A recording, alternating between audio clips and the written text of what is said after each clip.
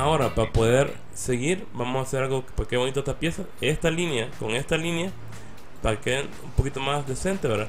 Hagámoslas perpendiculares, para que vayan igual, ¿verdad? Y eso aumente que la pieza sea un poquito más, más estilizada, ¿verdad?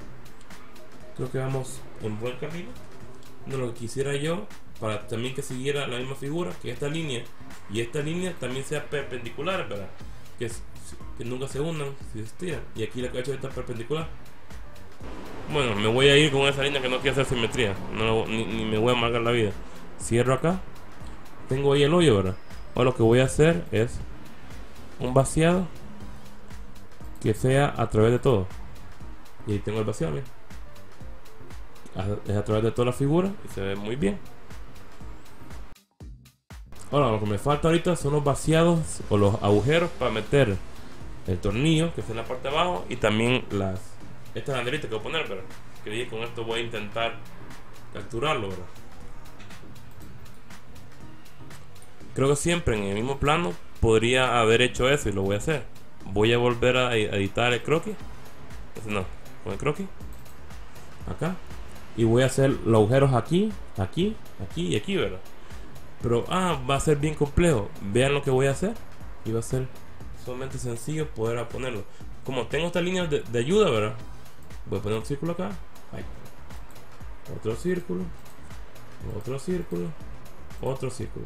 Primero que nada, hagamos que todos los círculos sean el mismo radio. Hago clic en, en cada, en cada circunferencia. Le digo a todos sean iguales. Aquí está con igualdad, ¿verdad? Ahora todos los círculos son iguales. Si defino un círculo y le pongo cuánto es su radio, este es radio, le voy a poner que digamos para que esta cosa entre. Mire, como dos y medio, pongámosle unos 3, unos 3, unos 4, pongámosle. 4 milímetros.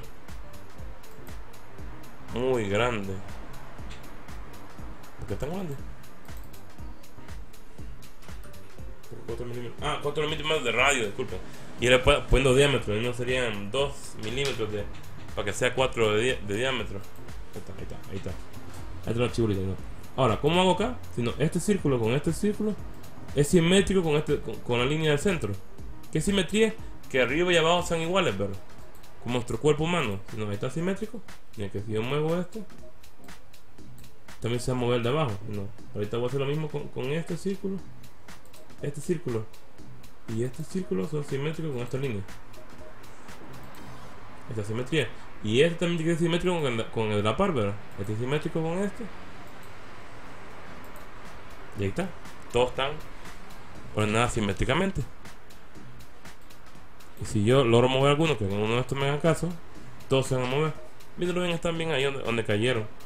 Ni los quiero molestar. No, quiero hacer más pegado esto. Siento muy muy separado y siento que me va a golpear la cámara. Porque cuando, pongo la cámara, siento que van a llegar a, a tapar la cámara en el, mero. Lo voy a dejar más en la orillita. No, viendo bien, sí. Disculpe con mi mal práctica por el ojo, pero ahí va. No, si me voy, voy a unir, voy a decir que esta línea con esta línea, una distancia para que no me, no, entonces no, es esta línea con este punto. Ah, y lo voy a poner de unos 6 milímetros.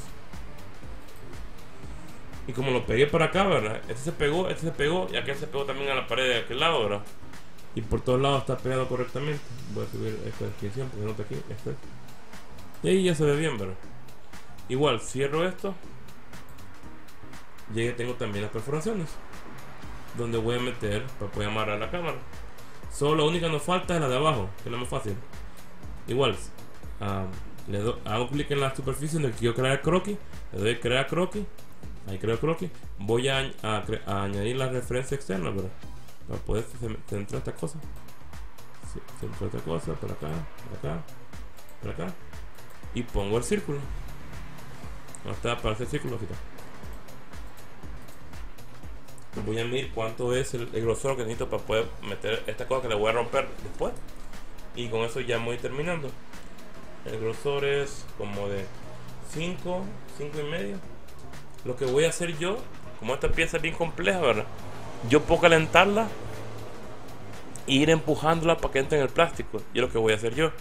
yo lo voy a calentar y la voy a ir como haciendo lo que entre por calor con un cautín porque eso lo voy a dejar de esa manera y voy a ocupar que sea que sea del grosor de esto esta mide como 8, como 8 milímetros no, el, el radio que le voy a dejar ¿cuánto dije que era? El radio es de 5 milímetros no, ese es el diámetro, 5 milímetros, sino la mitad sería 2.5. Si no le voy a poner 2.5, no poner 3, para que un poquito más y sea 6. Y siempre esté socadito.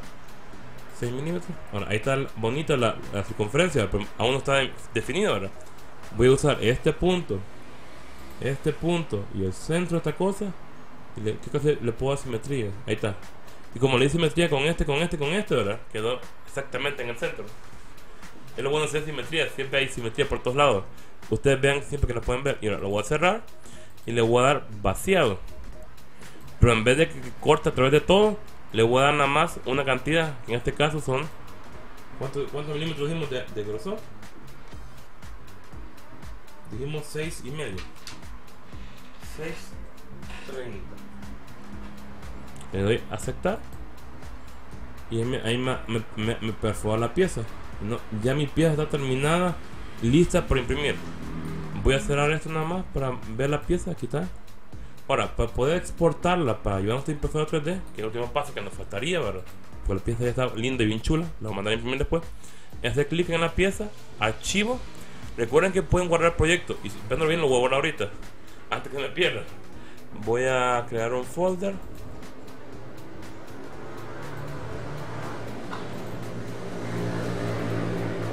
soporte soporte cámara web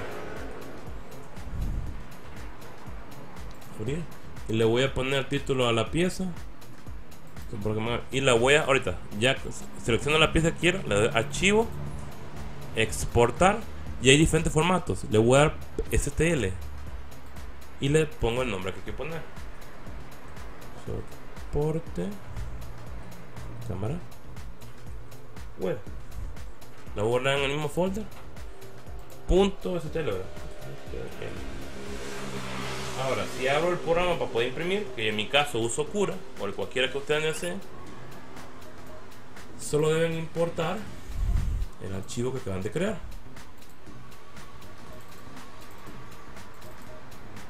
Y ahí tienen la pieza. Esta tardaría una hora. Una cosa aquí, como ven, como tengo este hoyo, no sería muy conveniente imprimir a este lado, creo yo y como de forma toda rara. Creo que lo que me, yo intentaría es recostarlo acá y tirar imprimir acá. Casi se saldría. Bueno, espero que esta mi tutorial le haya servido para que aprendan. Me disculpo por tardarme más de lo que esperaba. Esperaba tardarme 5 minutos, pero como he ido explicando lente, calmadamente, Creo que me tardé un poquito más. Esperemos que les haya servido también para que hagan diferentes piezas. Por favor, denme ideas de qué piezas puedo diseñar y les puedo enseñar a utilizar. Digamos, un mouse para poner un protector o piezas interesantes. Hay un montón de cosas que se pueden hacer como en 3D, como este 3D que tengo acá, que e, es para meterla a través de un tubo, para hacer un soporte. Y así tantas cosas se pueden diseñar. Por favor, háganos saber en comentarios de abajo.